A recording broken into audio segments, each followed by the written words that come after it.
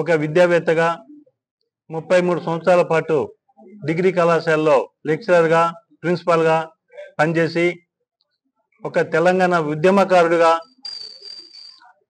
TPCC మాజీ అధికార ప్రతినిధిగా పట్టభద్రుల సమస్యలను ప్రశ్నించే గొంతుకగా ముందుకు రావాలనే ఉద్దేశంతో ఈ పట్టభద్రుల నియోజకవర్గం నుండి ఎమ్మెల్సీ అభ్యర్థిగా నిలబడాలని చెప్పేసి నేను ఆశిస్తున్నాను.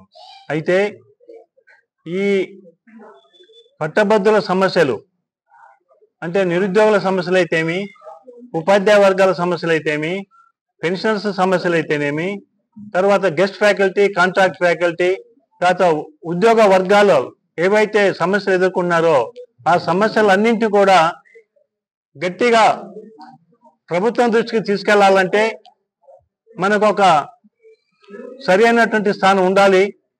ఆ స్థానము శాసన మండలిలో సభ్యునిగా ఉండటమే అని భావించి మీ కొరకు పోరాటానికి మీ ప్రశ్నించే గొంతుకగా నిలబడటానికి ఒక ఉద్యమకారుడిగా విద్యావేత్తగా నేను ఈరోజు పట్టభద్రుల నియోజకవర్గానికి నిలబడుతున్నాను. నిరుద్యోగుల మృతి కొరకు ఏవైతే గత ప్రభుత్వాలు హామీ ఇచ్చాయో అవి అమలు పరచడానికి నా శాయశక్తిలో కృషి చేస్తాను సాధిస్తాను.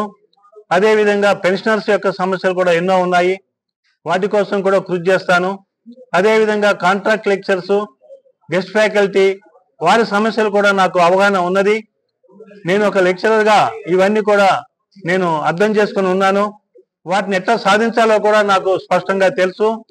ముఖ్యంగా ఈ యొక్క ఎవరైతే పట్టభద్రులందరూ ఉన్నారో ఉద్యోగులైతేనేమి నిరుద్యోగులైతేమి ఉపాధ్యాయులైతేమి ప్రభుత్వ స్థానాల్లో ఉన్నటువంటి వారైతేమి పరీక్షలకు ప్రిపేర్ అవుతున్నటువంటి నిరుద్యోగ సోదరులకు అండగా నేను నిలుస్తాను. వారి సమస్యల పరిష్కారానికి నేను కృషి చేస్తాను. ఎందుకంటే ఓన్లీ వన్ పిసిసి మాజీ అధికార ప్రతిగా ఉన్నాను. కాంగ్రెస్ పార్టీలో క్రియాశీలకంగా పనిచేస్తున్నాను. గత అసెంబ్లీ ఎన్నికల్లోనూ పార్లమెంట్ ఎన్నికల్లోనూ కాంగ్రెస్లో తీవ్ర కృషి చేశాను.